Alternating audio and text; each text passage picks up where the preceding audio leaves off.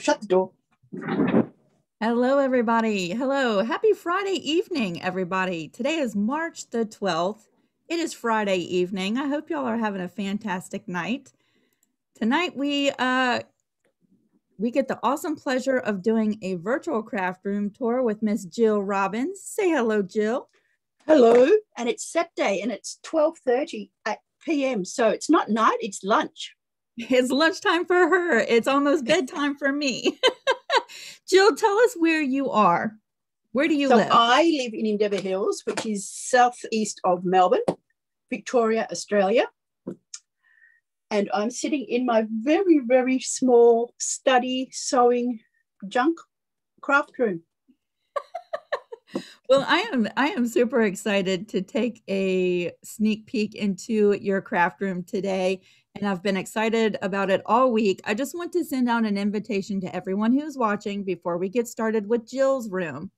If you would like to share your crafting space, whether it's a bedroom, a basement, a section in the attic, a section in your bedroom, we would love to see it. We would love to see your space, your supplies, the way you organize. We would love to see it. So I'm just sending out an invitation. If you would like to share your space, all the ways to get in contact with me are in the description box. You can click on any of the links and send me a message and we'll set it up. We would love to see your space. Hello, everybody. Thanks for joining in. Uh, we are live right this minute. If you're in the live chat and you have a question for Jill as she starts mm. showing us around, you can type it out. If you type it out in all caps, it's easier for me to see. Otherwise, feel free to chat and hang out with one another while we have some time this Friday evening. Miss Jill, I want you to tell us a little bit about yourself. Tell us about your favorite genres of crafting. Oh, famous. Well, crafting. Mm.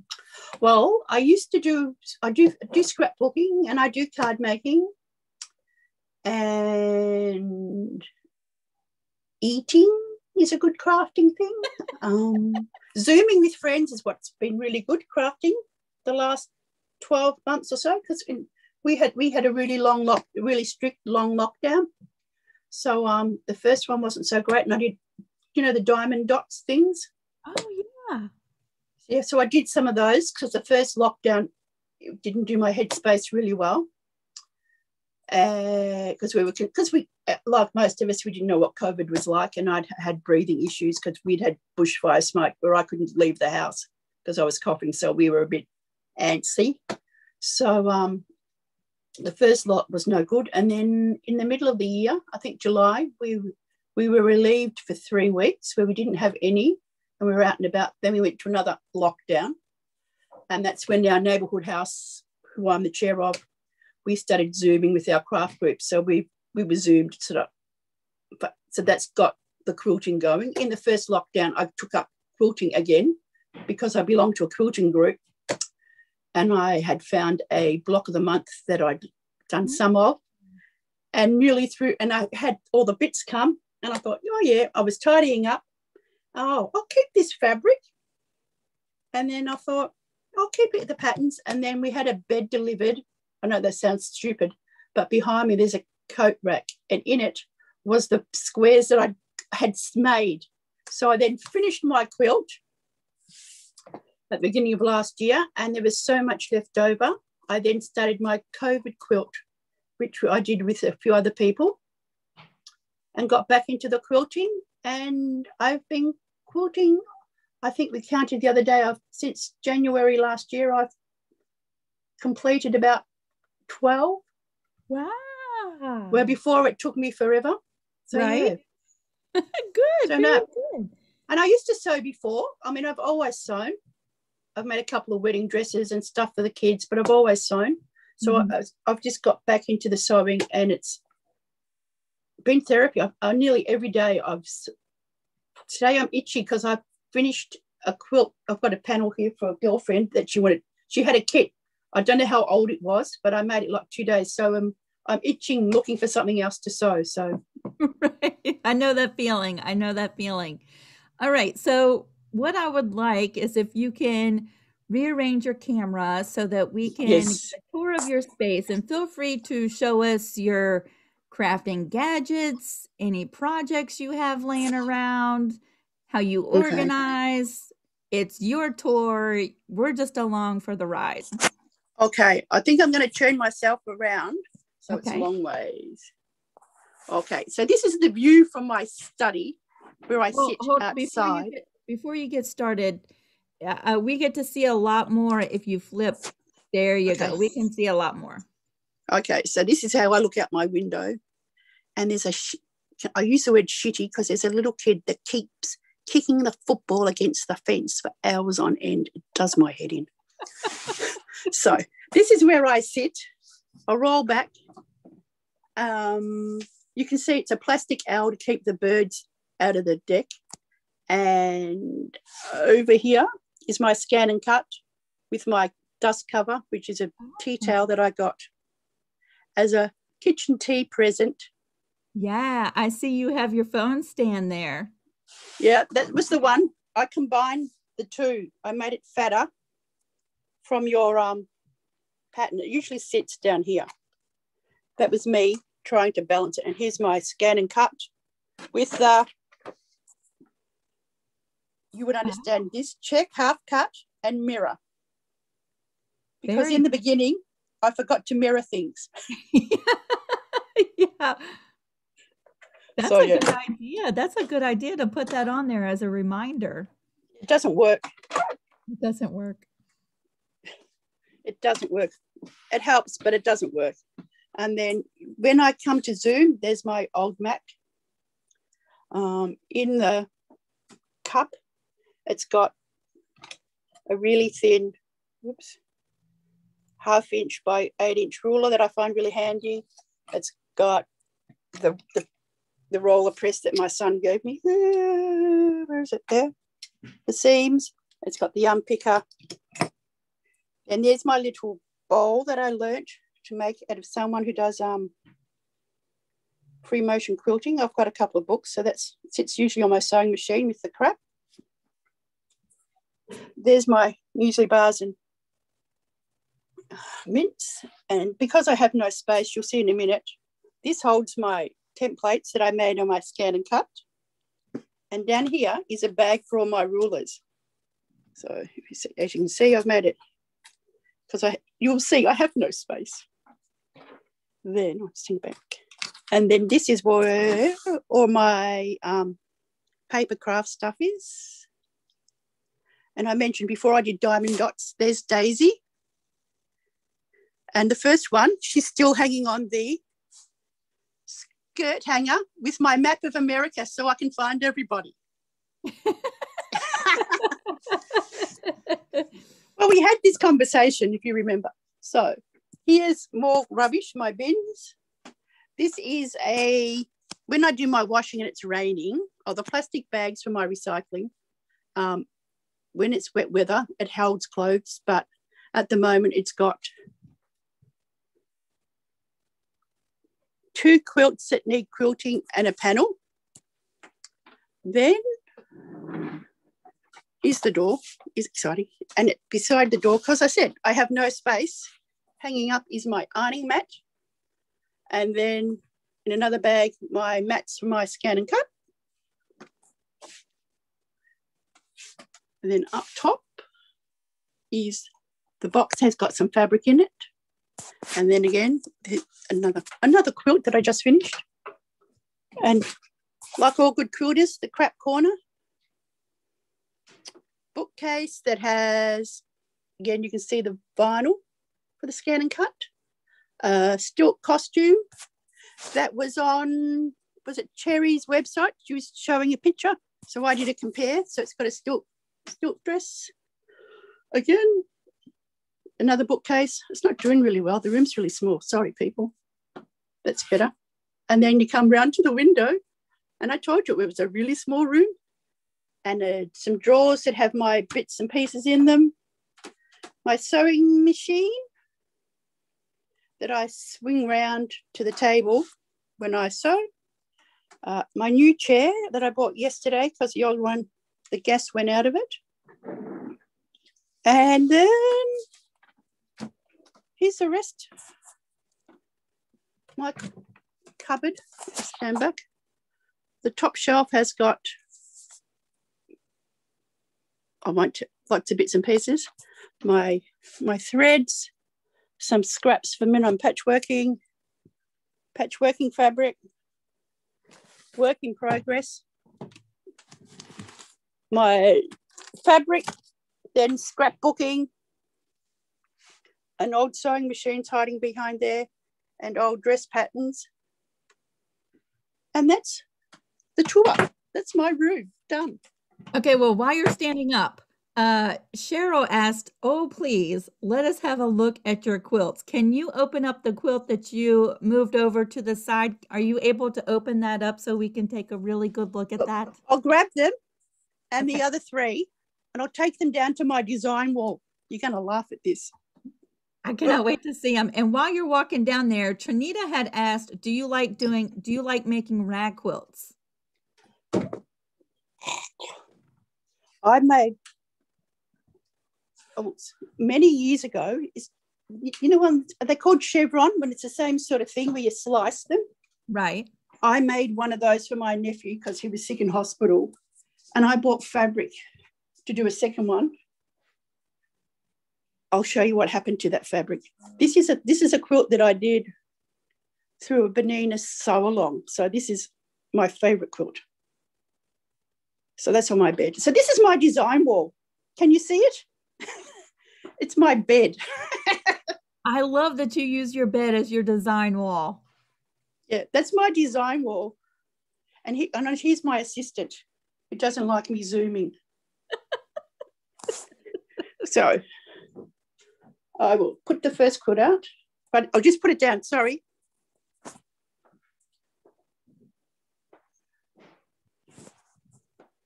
Is this the quilt you was asking about? I believe so. Yeah, I believe that's that's the one. I'm going to make you bigger so we can see a really good view of it. Can so what happened? Us, can you tell us a tell little bit about that quilt? Yeah. So a couple of years ago, because I belong to a French a quilting group which we call Bitch and Stitch, it's a patchwork friendship group, and a lady gave me the hexies as a top for my daughter who's 21, and it looked it looked like old lady's op shop panel.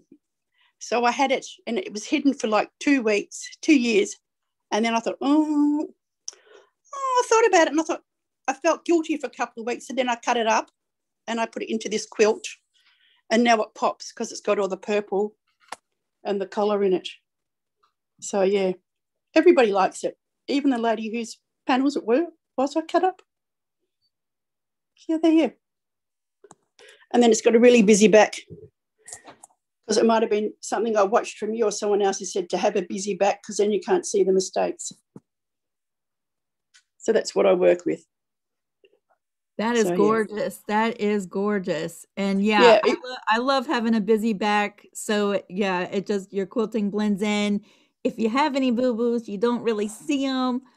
But yes, I love that. And you know, purple is my favorite color. So I'm just like, wow, I love yeah. that so much. Before that, it was, it was the, the it, look, it was, I said to someone, it was sort of mothball color. It was just bland, but the purples just really made it Nice. So I'll show you what else I have. Okay. The one I finished yesterday, let me find that. I don't know how long she had this one in the cupboard, but it was a while.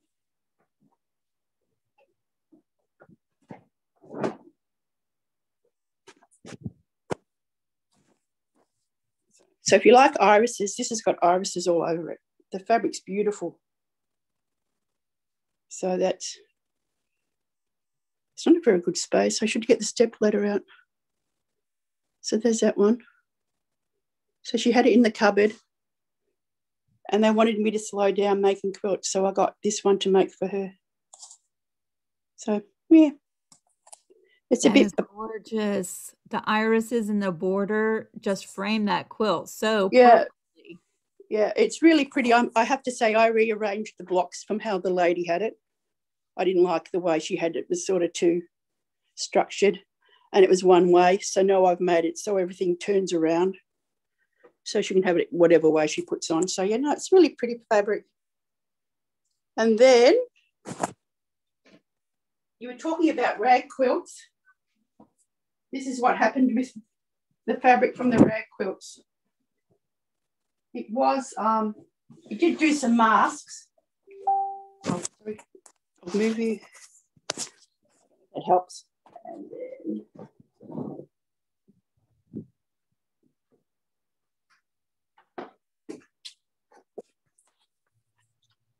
Oops.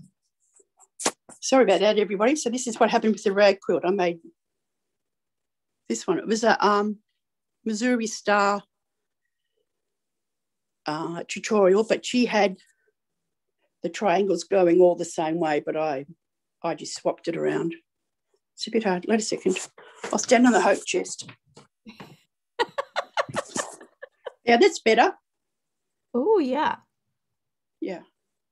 It doesn't show the, it's, it's really bright oranges and browns and pinks. So, yeah, no, I'm really happy with that. It's going to my niece when I work out how I'm going to quilt it. So for someone who's just started the um, free motion on the sewing machine, I've learned I quilt with abandon is my style. I quilt like I don't care. So, and then there's one more. This is, I'll show you, this is the last one. This is my favorite.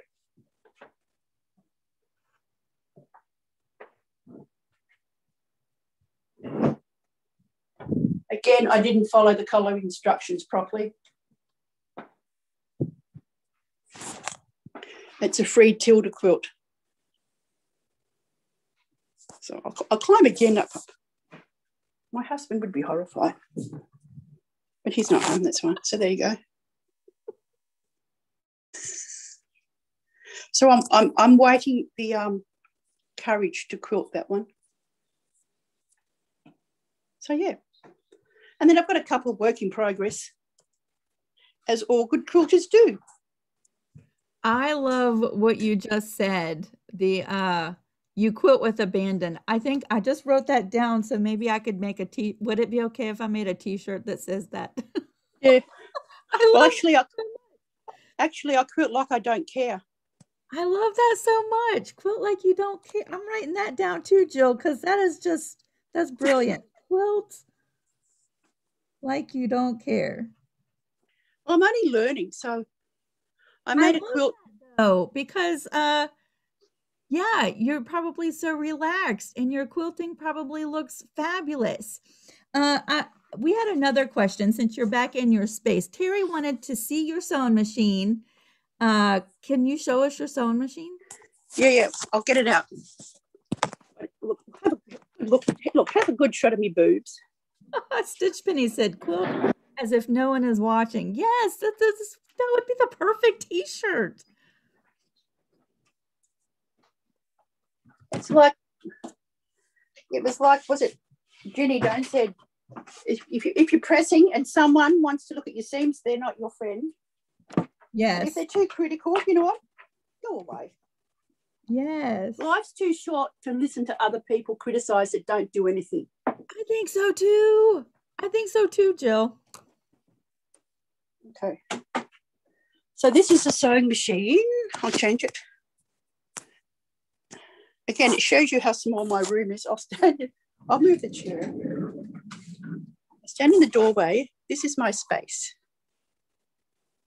As you can see, I have heaps of it. So I have a Juki DX7 and I've I got it end of January. And and I think I've bent, bent the needle thread or hook already. So I have to thread that by myself, which is good. Oh, yeah. And I, oh, look, I'm being honest. I'll show you the rest of the crap in my sewing room. Okay. So here's look, look, look, here's my mess. Oh, and Paddington can't beat Paddington. So that's yeah. As you can see, I'm not tidy. Here, I have to tell you this story because I said I had two other friends. This is a big bolt of wadding.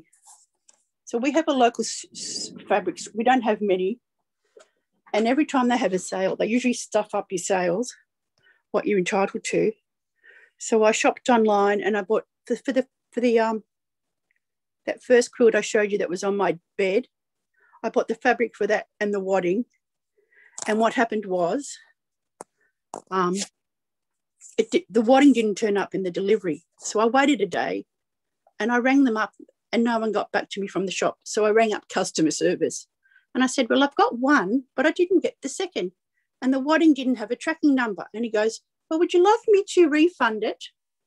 Or would you like another one? I said, Well, I like another one because I wanted it. So the one that was missing, that was on the Friday. So the one that was missing turned up on the Monday, and the replacement one came on the Wednesday. Wow. And it was on sale, so it was even better. Yeah, yeah. Trinita wanted to ask, uh, do you ever do applique on your quilts? The first, the first quilt, I have a beautiful, I have two in the cupboard. The first one that I spoke about, that was an applique with button, buttonhole stitch. And the one before that, I did a really old one and it was on needle turn and I really enjoyed that. But lately, no, but I'm, I'm, I'm contemplating. I'm You're contemplating doing. What are, what are you contemplating? Well, there's a book. Well, I, I bought a kit that has, it's a watercolor kit. Again, I'll turn it around. That has applique on. So I'm going to try that. Yes. Ooh, watercolor watercolor quilt kits by Whims. Ooh, that looks fun. Yeah, well, I did one for another quilt that I'm doing. That's called, let me find, it's in the drawer.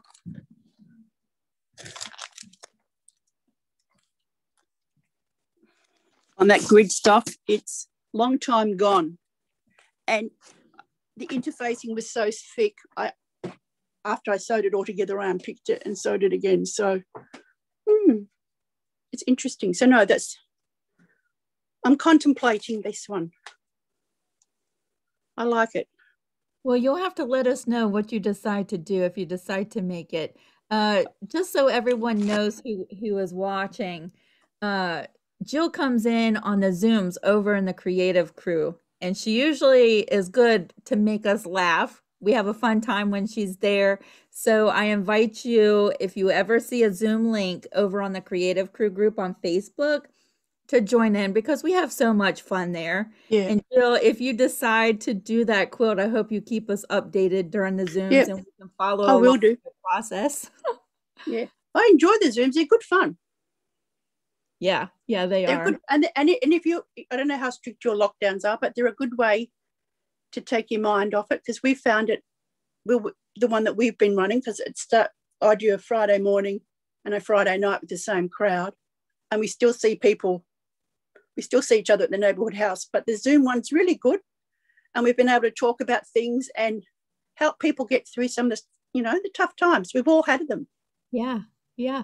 Uh, it's something that we all have in common, no matter where we are in the world. You're in Australia and we're here in the States. So even though the lockdowns might be look different from time to time, we've all experienced the same thing. So we have yeah. that kind of a, as a bonding.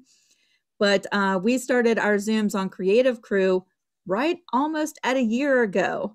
And okay. um, it's been so much fun just to hang out and usually one or two or all of us are working on projects while we're zooming it's a lot of fun and uh, it's a great way to connect with other people um, we did have a question that just came in cheryl wanted we, to know how did you enjoy doing the diamond painting you know what the fir- i used it the first time because i have two one's a daughter that's 21 and a son that's 24, and they're both suffer from anxiety and depression. And it was good mind. It was good. It was a good way to clear my mind.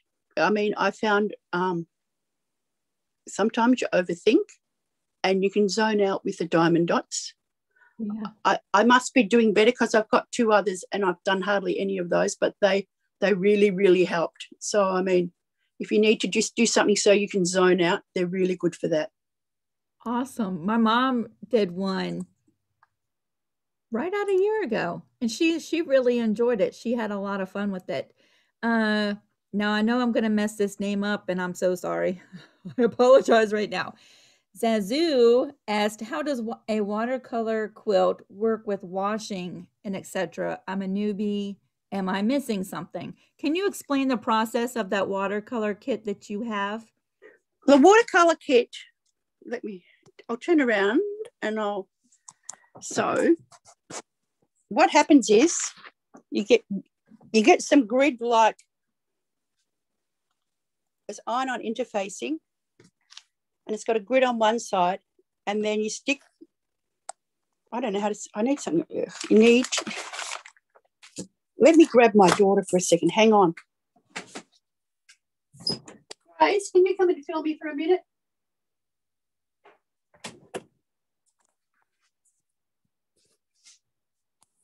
My assistant's coming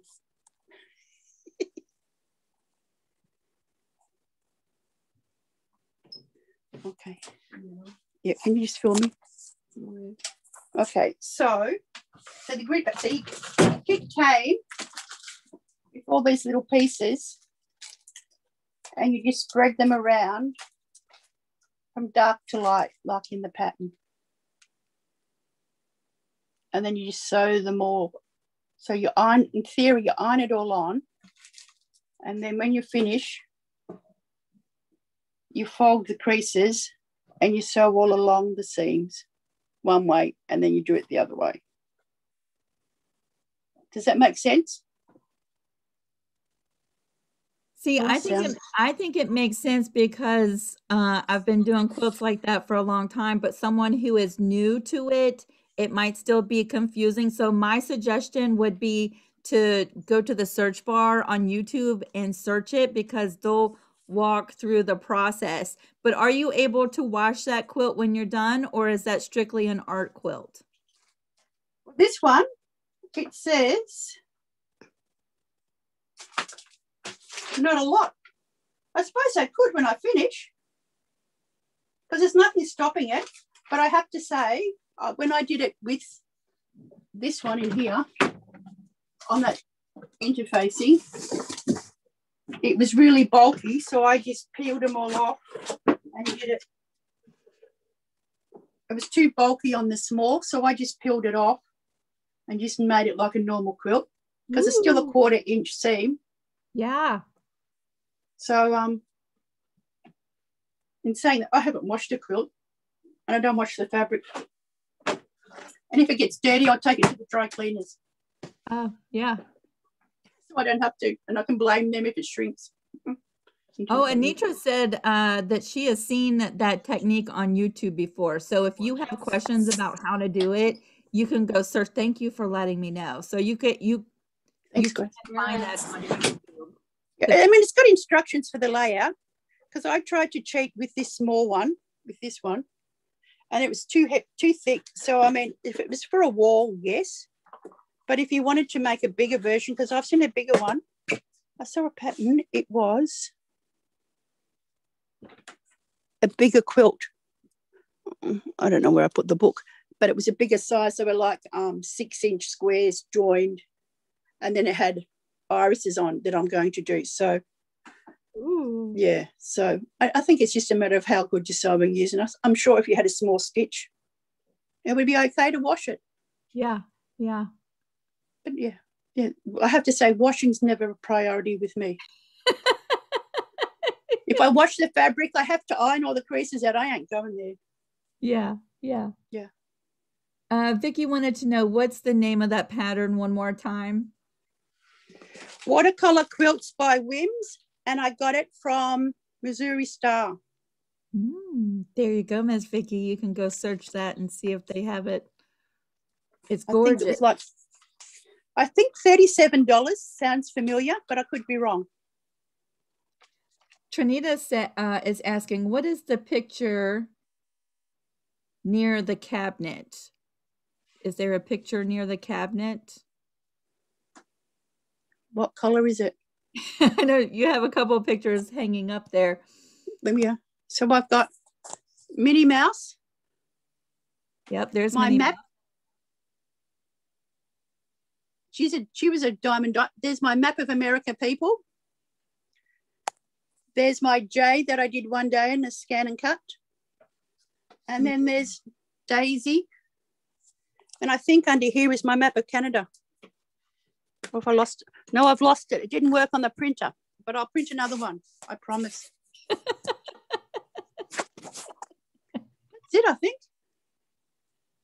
Terry said, Jill, you use your space so well. Yeah, you know, we all have different size spaces that we're crafting in, right? And so I love to see how you have your books set up, how you ha- have your machine cabinet in there, your computers in your space, uh, and everything just seems very accessible.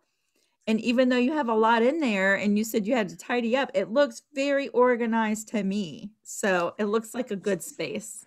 Yeah, yeah. The, well, the computer's in here because I needed it for doing Zooms on, so I could sew and Zoom at the same time. Yeah. Yeah, and I mean, originally the desk was much smaller before COVID. It was a tiny table, like two foot by four foot. No, yeah. So then I had to go and get a. I got a bigger tabletop, but I mean, I can touch the back cupboard, and then I'm touching the sewing machine. We're really close. so the dog that you saw before, she can't fit. There's no room. She's not happy. So it's just yeah, but it's like all things. You you decl- I decluttered before and got rid of all the fabric that I was never going to use. You know, you keep it. It's never going to happen. Cheryl's asking, uh, do you have the ability where you are in Australia to get out for fabrics and your needs or uh, yeah, yeah. We're out of lock. We're out of lockdown. We Mm. have to wear masks in the supermarket and the chemist and a few shops. Last week, when it was my birthday and it was a friend's birthday, we actually went to four, five fabric shops shopping, and bought fabric at every shop. Wow. before that before that i was online shopping so yeah no we had yeah we, we have in victoria unless you come back from overseas if you're lucky to get in we're covid free Wow. Wow. Have you uh have you ever had any other craft? well Other i've done this You do your paper i've done embroidery embroidery. scrapbooking card making what else? Bit of quilling or sewing. I think that's about it. Knitting. Oh knitting. I, yeah i used knitting yeah. Well, uh, I've so enjoyed taking a look at your space and seeing your lovely quilts. I'm so glad that your husband's not home to see you stand up on your furniture. but we got a really great view. Thank you so much, Jill, for That's right. sharing your space. If any of y'all want to hang out with Jill during our Creative Crew Zooms, we invite you to join us. It's a lot of fun. Jill, Yeah. thank you so much for uh, that's right being brave enough to come on live with us and to share your space. Thank you so much. you know my pleasure and, and, and come to the zooms we have fun it's not Yeah. about quilting it's about laughing Yeah. Yeah. That is so true. That is so true. Everyone is saying thank you so much for sharing your space. You'll have to come back to the live, Jill, when we're done to read everyone's comments. You had some really nice comments on here, and everyone is just saying thank you so much. Um, well thank maureen for keeping them nice Anitra had a question. Let me get that question before we go. She said, "Can you do the zooms without Facebook?" Uh, Anitra, we sh- I share the Zoom link on Facebook, but if you ever want to join us, message me on Etsy because I know you don't do Facebook, but we would love to have you there. So message me on Facebook, and I'll try. I mean, on Etsy. You know how to get in touch with me and uh and I'll let you know when the next Zoom is and I can send you a link that way cuz you would love to join us. Yep. Yep. all you need is a zoom app and you're up, off and running it's really easy Yeah, yeah, and you would have so much fun with us over there. Oh, I think you're going to have so much fun reading these comments, Jill. Thank y'all so much for hanging out with us on a Friday evening. And saturday um, lunchtime eh, right, it's her lunchtime. She's going to go have some lunch I'm getting ready for bed. Thank y'all so much for hanging out with us. Next Friday at 2 p.m. in the afternoon, we're going to meet with Margaret to see her space. Jill, thank you so much. I'm trying to think. That's too early. I'll be asleep. Have a nice time, Margaret. For that one, you'll have to watch the replay.